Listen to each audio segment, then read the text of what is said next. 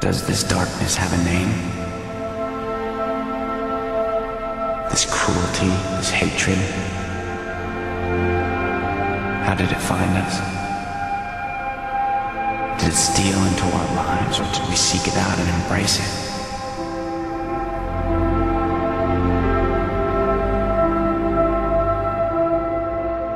What happened to us? That we now send our children into the world like we send young men to war,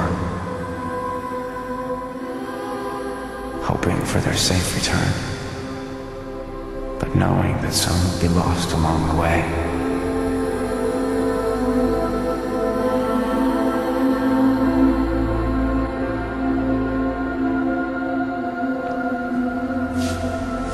When did we lose our way? consumed by the shadows, swallowed whole by the darkness.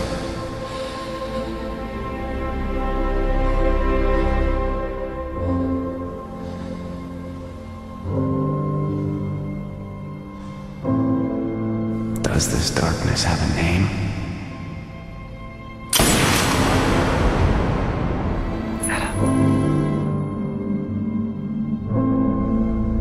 Is it your name?